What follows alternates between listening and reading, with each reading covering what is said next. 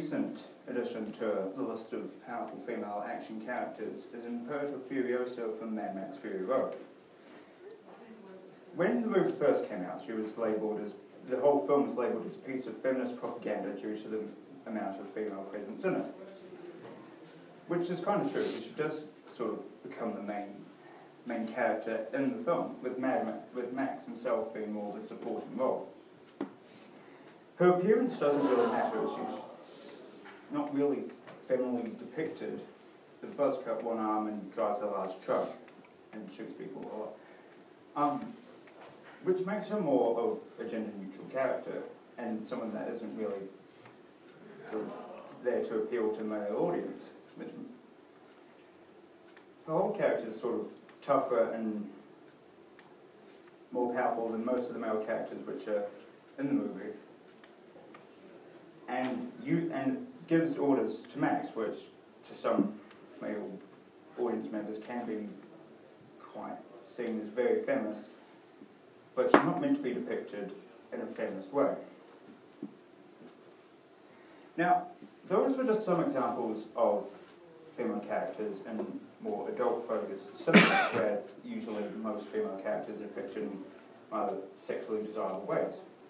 But in children's media, it's a lot more different. The target audience isn't, doesn't really see women the way that older audience people would see them. So they don't need to be sexualized as much. Now, when you think of powerful female characters in children's media, you'd probably think of the Disney princesses and that. They're not what you'd consider to be typical powerful female characters, because most of the time they usually rely on male to save them, or they're out find a husband or something like that, you know, find love. There are a few female characters, however, that sort of in children's media that sort of go into sort of the action-based roles.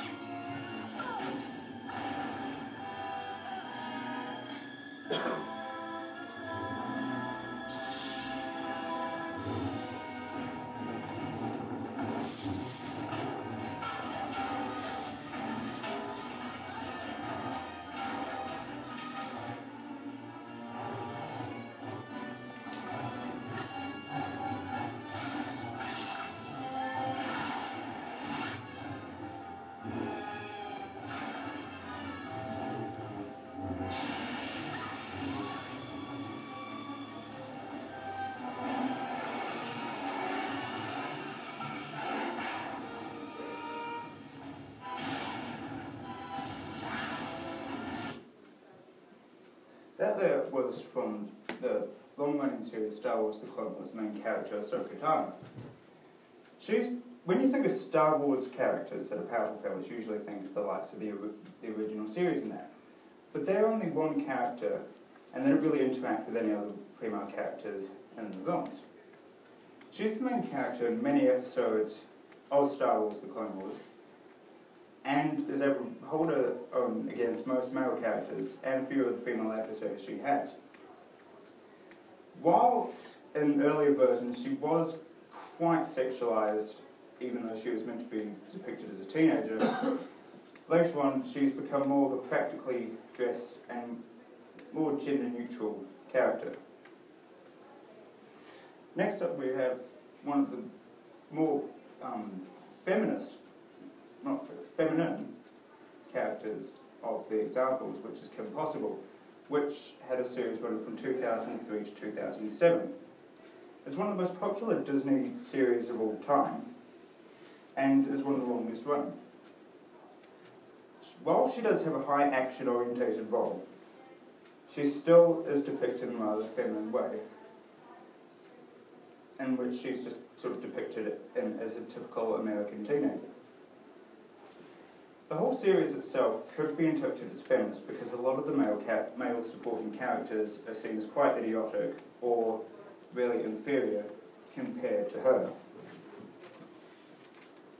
So how can you tell that there is a powerful female presence in media? Well, there's two ways that I've found which there are. One of them is the Bechdel test, which is you've got to have two female characters who talk to each other about something other than a man.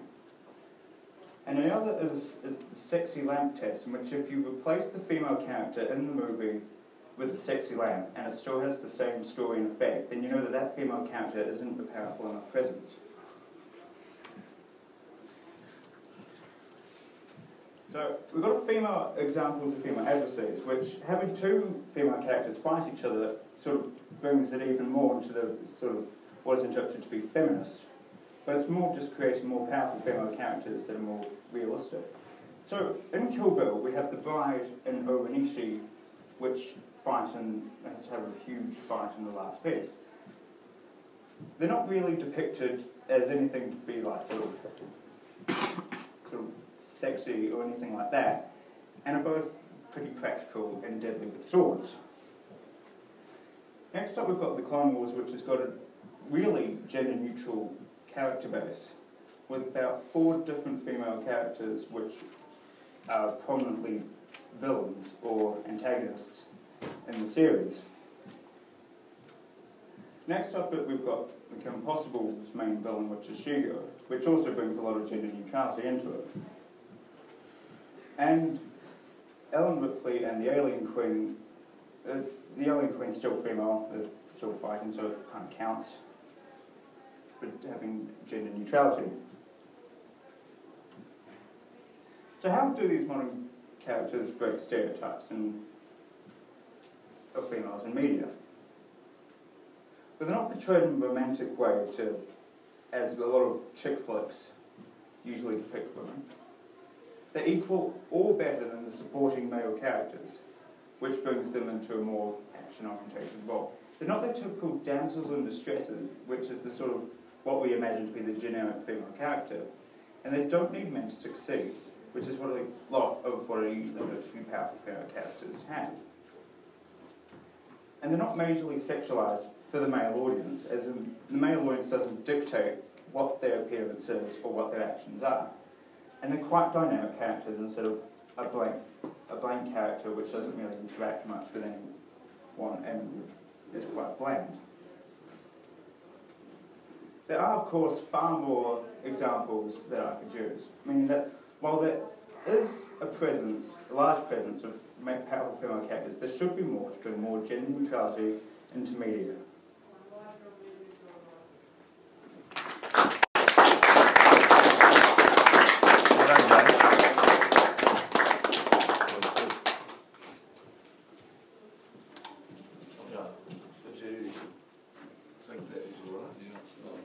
No, stop it now.